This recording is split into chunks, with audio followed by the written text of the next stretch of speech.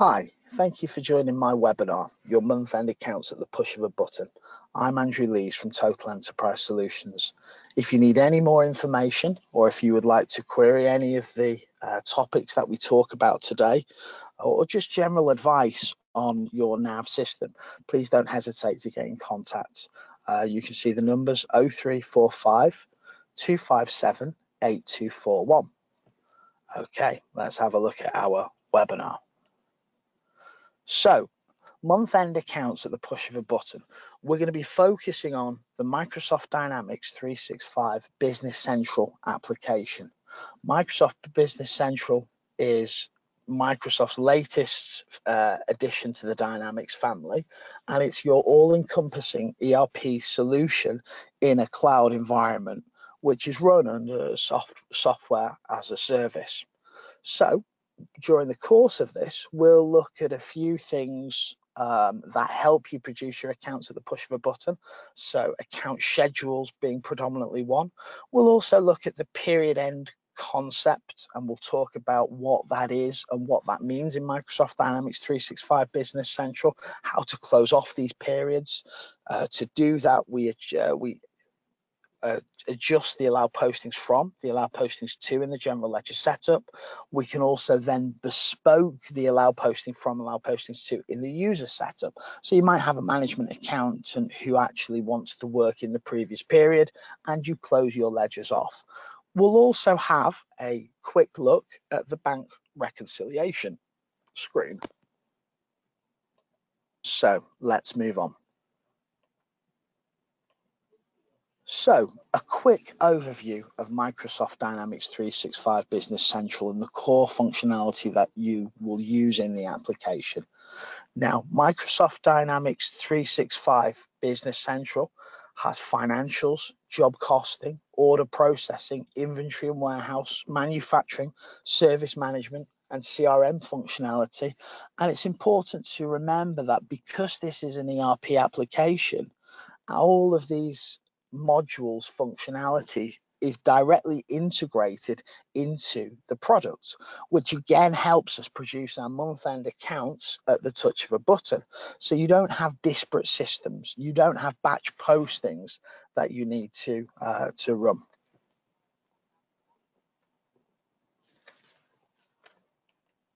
So where does Microsoft Dynamics 365 Business Central sit within the Microsoft Office product stack?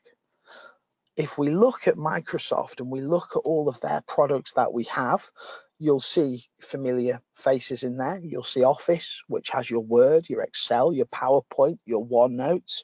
Uh, many of you will be using Skype for Business.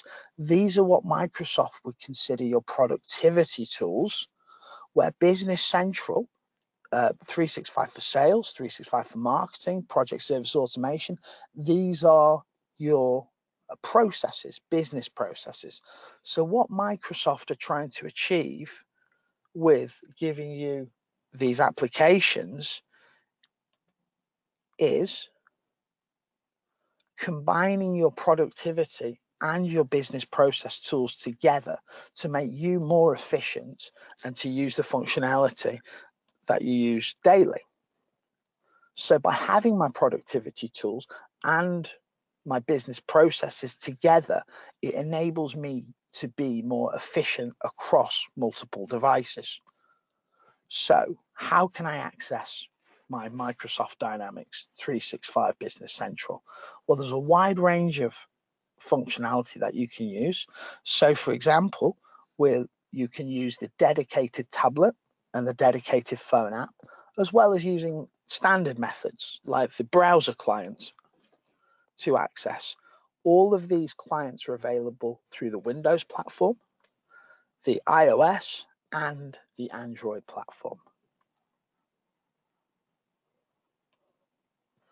So let's have a look at our demonstration agenda and have a look at the Microsoft Dynamics 365 Business Central application and how we can actually use this to close off periods, to get our month end accounts out at the push of a button and how we can then roll forward to the next period. I thought it would be useful as well to look at the bank reconciliation.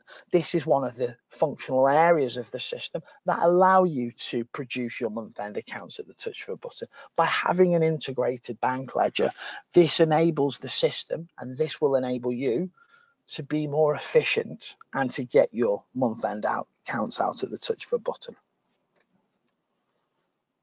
So let me open up Microsoft Dynamics Business Central. So this is my role center.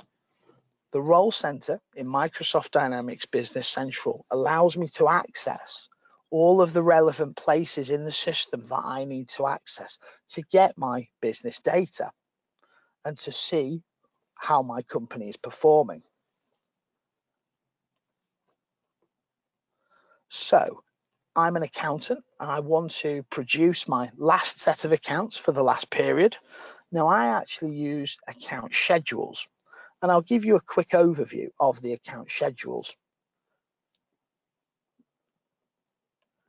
These account schedules allow you to put in your system reports for your balance sheet and your uh, profit and loss accounts they what you do is you you specify this is my report layout this is my column layout and then the data is dynamically updated by the postings in the system.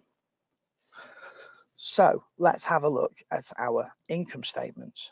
And I'll show you I'll give this a quick edit so you can see how these are set up. So you can see here I have my rows, which I'm going to bring through onto my profit and loss report, which is my final one, which will then be used to close off my month end accounts. So here you can see that I'm grouping my income within these set of rows here in the system what you do is you write a description of what that income line is to you, and then you control it with which accounts you want to bring through. So you can see here that on this line here for my income services, I'm using general ledger account 10100. For this line here, income product sales, I'm using general ledger account 102 zero, zero. So let's have a look and let's run this through and produce my month end profit and loss report for the period. So you can see in this period here for April, I'm I've got £1,236 in my income product sales, and I've got my cost of sales and also producing my gross profit so once I know that all of the transactions have been posted into this period, and I produce this report for the final time, I can come out of here.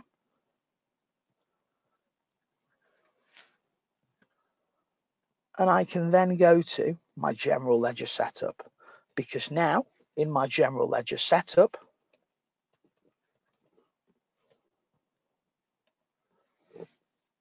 I want to close off my accounting period. So Microsoft Dynamics 365 Business Central, to close off an accounting period, what you're effectively doing is telling the system that nobody can post between certain dates. This is achieved from the allow posting from and the allow posting to fields in the general ledger setup. So with nothing in these fields, what we're actually saying is that nobody has any restriction to post in the system. Well, to change this, it's a case of just entering a date into these two fields. So now that we've finished the April 2017 period, what we can do is we can say now people are allowed to post from May to the end of May. And what we're effectively doing with these two fields is now saying that the system will only accept postings between these two dates. This is important if you use the inventory components and stock functionality in Microsoft Dynamics 365 Business Central, because Microsoft Dynamics 365 Business Central will adjust prior period entries unless you change these values here. Okay, so now that we've set this and we've set that only people can post between these two values, what if you have a management accountant and your management accountant needs to post within that previous period? Well, these are achieved through the user setup. This is the global setup. But should you want to be more specific with users, you can go into the user setup. So now you can see that Andrew Lees has a different allow posting from and allow posting to to the global setting. The reason why this is important is because now I can make my accruals and my prepayments for any previous period because I'm still working within that period. I've just closed it off from a ledger point of view, from a sales ledger, a purchase ledger perspective. So one of the unique functionalities in the Microsoft Dynamics 365 Business Central application is these accounting periods. Here you can create your bespoke accounting periods. It's not uncommon for people to work on a 445 scenario. So these are where you set these up in the system. You can control the starting date and the ending date of these.